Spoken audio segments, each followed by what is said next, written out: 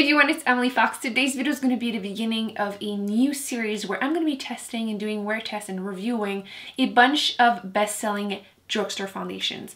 I have tried most of these at least once, but I wanted to do a wear test slash full-on review on all of them so you can see how they perform. I'm going to be doing uh, very, very unf unflattering close-ups just to make sure you can actually see the texture of my skin. So obviously no filters. And sometimes I feel like this camera doesn't focus properly, so I will be also doing close-up with my vlogging camera in front of a uh, window so you can see what it looks like in natural lighting. And all of this for me to kind of try to find the best drugstore foundation for me. I have pretty complicated skin, so I feel like pretty much everyone will be able to decide what the foundation look like on their skin type because my cheeks are normal, my T-zone definitely gets oily, but I do have some dehydration, mostly around my nose, but sometimes if foundation would not work at all on a uh, person with dry skin, I'm gonna look scaly all over. So I feel like this could be helpful. I'm hoping it will be and hoping it's gonna be fun. So it's gonna be going on all week and I will link down below the playlist. I have already filmed a half and half review on two Maybelline foundations. So I will link that down below because those are two best-selling ones and I didn't want to redo it. So Let's start. I'm going to be starting this with this L'Oreal foundation. This is the Infallible Pro Matte and I have not worn this in so long and I thought it was about time that I did a proper review wear test again to remind myself if I actually still like this. I feel like whenever I had dry skin I found that it wasn't wearable for a daily basis because it's a bit too drying but my skin is definitely oilier than it used to be so I thought it would be fun. So I'm going to be applying it with just a Real Technique sponge because that's what I prefer to apply my foundation with. I feel like it's a lot more forgiving and it applies a thinner amount and it's just more natural.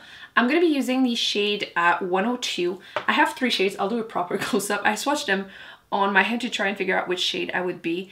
And I feel like I'm probably in between 101 and 102, but um, 102 has a closer undertone for me. So I'm going to try to apply on my face. If I remember correctly, it does oxidize a little bit, which again, we'll test on my hand and just see how it goes. So let's apply half my face to see the coverage.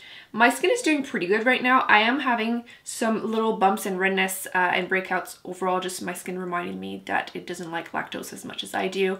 So we're to be able to see the coverage for that. Actually, let me zoom you in. So this foundation is like still after all these years, one of the best selling foundation at the drugstore.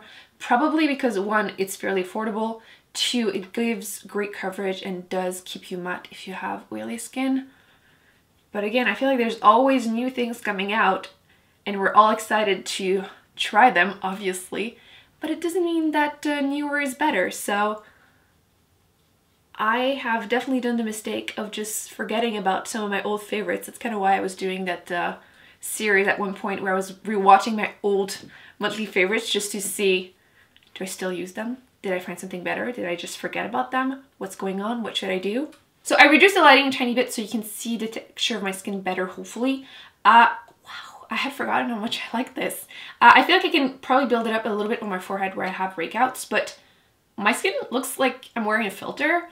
Uh, I definitely noticed that it makes my pores a lot less noticeable. I mean, we all have pores, and I feel like here around my uh, nose is usually where I get, they look more visible. But I would say that a thin layer like I applied all over my face definitely gives me like a very natural medium to full coverage. So I'm going to try to just build it up a tiny bit more where I have uh, a bit more redness, like here for example, and like maybe a tiny bit more there just to see if I can cover little pimples a bit more. But wow, I had forgotten how much I like this. Like my cheek literally looks like I'm wearing like I face my face.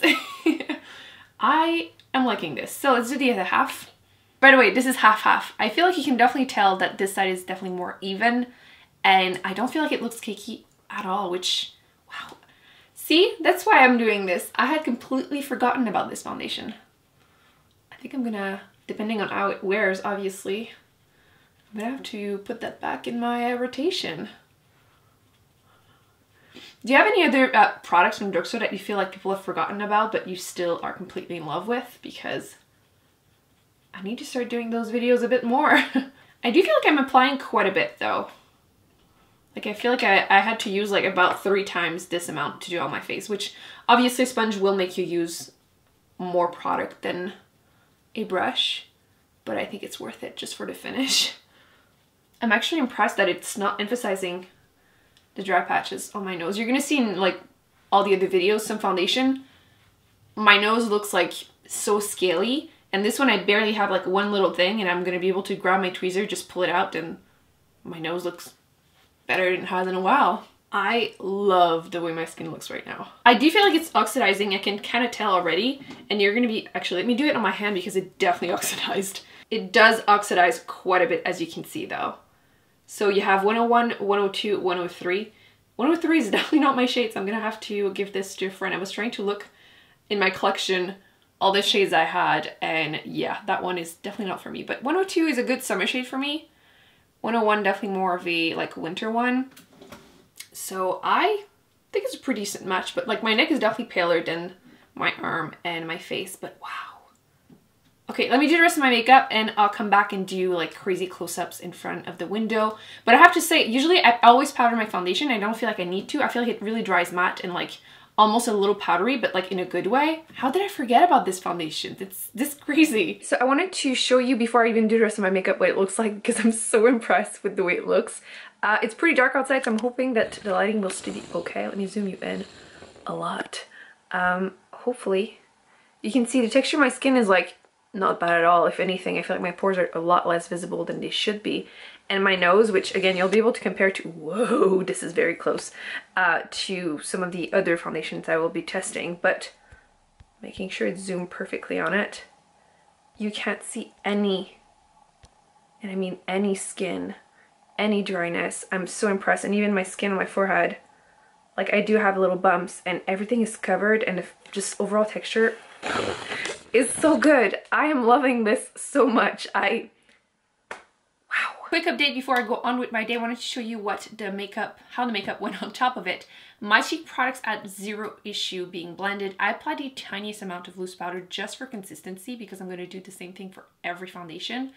And I could have totally skipped it, like a 100%. And yeah, my cheek products look like better than ever.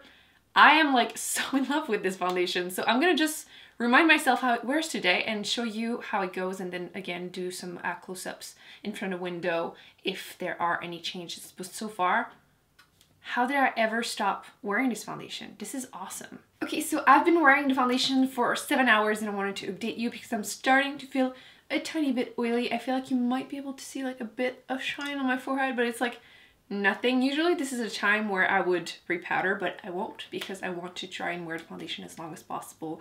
I'm gonna aim for at least 10 hours, like probably more 12. And uh, yeah, I mean, my skin has not looked this good in a while. I'm like so shocked right now.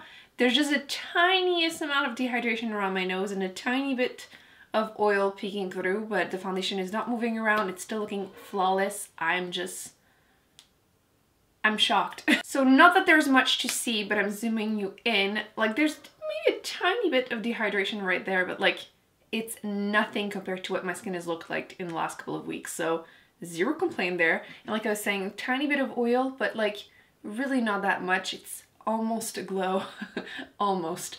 Uh, there's like no separation on my uh, chin. Like I've been testing some other foundations and like they've been looking so last update today, it's been over 10 hours now and I wanted to update you and I'm surprised how I'm not more shiny than this. I feel like usually between like the second update and the third one, I would become like oily, especially if I didn't retouch with some powder and I'm definitely oily on my forehead, but my chin isn't that bad, my nose isn't that bad, even around my nose isn't that bad, and my skin looks flawless. I swear, I feel like this whole video is like me raving about this foundation, but it's one of those things that just happened that you're like, wow, I need to go back to some old favorites once in a while and just see if they're better than the new favorites or all the new things I've been testing because sometimes you just forget about stuff. So let me zoom you in one more time. So you can see the texture on my chin is still flat. Usually it would be where it would start like getting all yucky and around my nose is still doing fine. My cheeks are obviously looking fine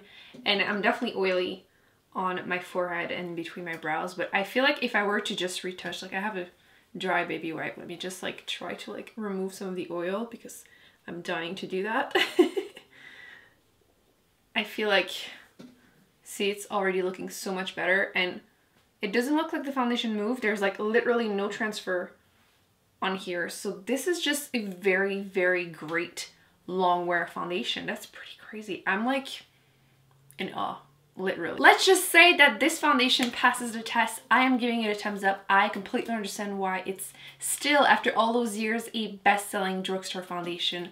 A favorite of mine. It's back into my rotation. I will be wearing this all summer for sure. I feel like it's not too heavy. I don't feel it on my skin and I feel like even when it gets warmer, I'm not going to have an issue wearing it on a daily basis daily basis if I want to.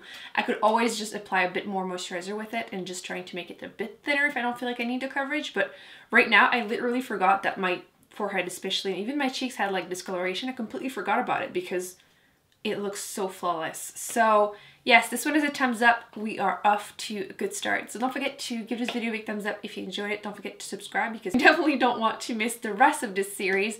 And I will be putting on the screen the videos that I've done that I recommend you check out. And I'll put again the link to the playlist down below. And I will see you in my next video.